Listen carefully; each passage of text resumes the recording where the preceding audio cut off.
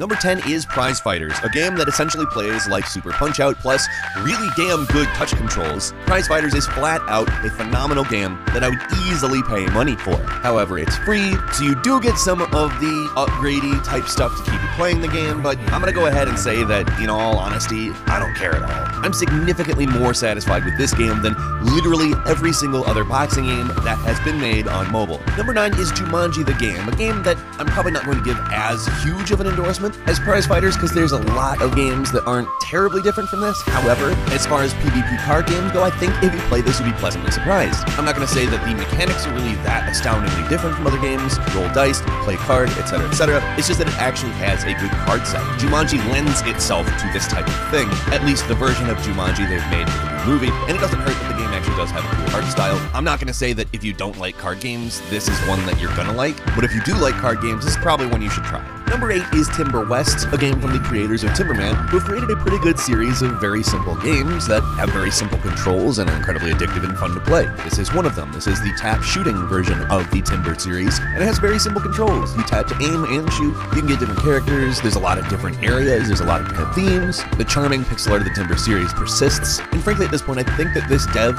isn't capable of making a game that isn't fun. I'm not going to tell you that these are going to change your life, any of the Timber series, but they're all fun as hell, and I certainly certainly play them on a constant basis, including the original Timberman, which has been out quite a while at this point, so I gotta say, give it a shot. Number 7 is Mayhem, a 2D multiplayer arena shooter, which, yes, that kind of arena shooter with heroes and different abilities, different classes, all of that stuff, except for 2D side scrolling. And good god, it works. It so works. Now you have to keep in mind it is a little limited. It's 3 versus 3, there's some objective based stuff, there's death matches, and there's not a lot else yet. They are developing the game, however, and honestly, even in its simple form, this is unique. It is interesting interesting. It's fun. This is something that I cannot wait to see where it goes because it is great. Number six is Amazing Katamari Damacy, which, yeah, it's that. It's hard to describe it a lot further if you haven't actually played Katamari Damacy. It's a very unique experience and it's fun as hell, in which you basically roll and attract debris and things that are just lying around to make a huge ball.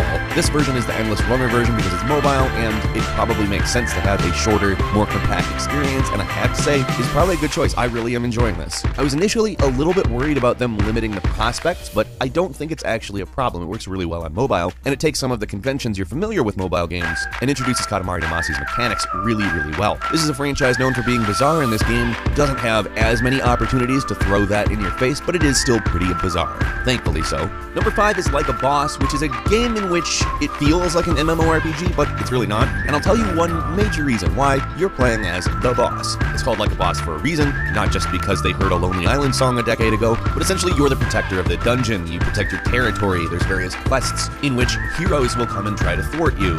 And you might think, well, this is a novel idea, but the gimmick wears off after a while. No, you're wrong. There's a lot of the conventions that you might expect from this type of game, such as crafting, guilds, and frankly, a lot of other interesting stuff. It's a different take on a genre that needed a different take, and frankly, I'm there. Number 4 is Arena of Valor, and if you want League of Legends on your phone, this is as close as you're going to get. It's a game that's been operating over in China for quite a while, and luckily enough, when it came over here, they retained all of the stuff that has been added since launching there. So what we've gotten is basically a game that has been around a while and has an absolute buttload of stuff to do in it. There are so many heroes in this game at launch, it is ridiculous. I would not spend money on the heroes if you want to have all the heroes, because the game is already at a point where you would spend a large amount of money. When I say that this is like League of Legends, I say that in every way. It's published by Tencent, who is a really big, scary company that owns Riot Games, who made League of Legends, and they're just like, I don't care if it's a ripoff, we want this on mobile, and we don't want to bother the Riot Games people, we just want to own this space on mobile, and they will. Number three is BB Tan 2.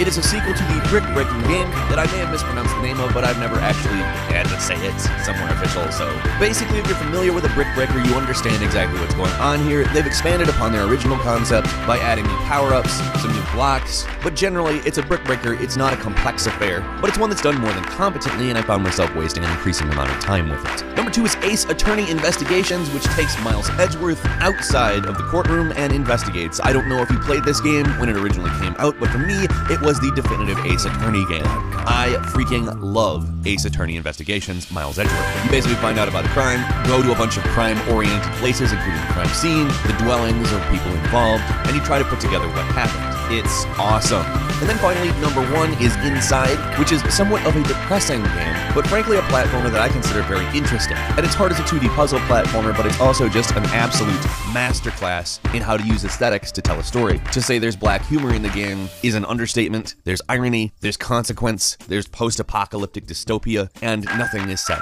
It's quiet, and it's perfect. This is such a good game, and it's free on iOS right now. Do not pass this up. What was your favorite?